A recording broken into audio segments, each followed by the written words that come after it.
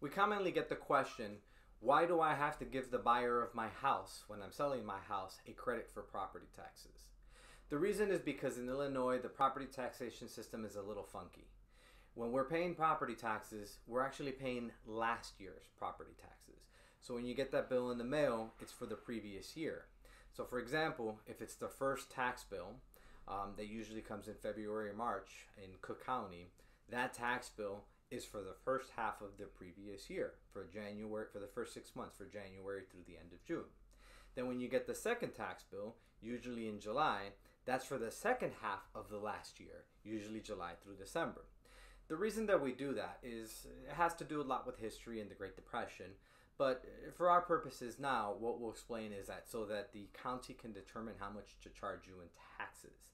When we appeal property taxes, we're appealing its current year value. So for example, in year 2019, we're appealing what the property's worth in 2019 for assessment purposes or for taxation purposes. It takes a long time for the assessor to assess because it's the entire county of approximately 2 million pins. It takes basically the entire year for them to figure out what the final values are. So once the final values are set, they know how much to charge the following year.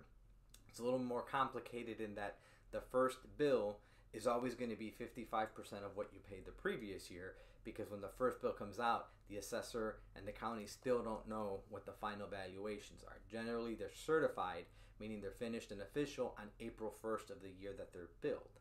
So the second bill is what's called the reconciliation. So if you paid 55% of your bill and your bill stayed the same as last year, the second half is just going to be 45% of what you paid last year. But usually there's a little bit of fluctuation. So if your assessed value goes up significantly, your second half bill is going to be much higher. So now that we understand that, it's easier to explain why you give the buyer of your property a credit for property taxes. When you sell them the property, you still owe taxes for the previous year and usually for the current year. So if you close April 15th of 2019, not only do you owe part of the property taxes for last year, but you're also going to go owe January 1st through April 15th of this year that's going to be paid next year. So since the county doesn't care who owned the property at the time, they just want the taxes paid, you give the a credit to the buyer. The buyer is now responsible for paying the property taxes.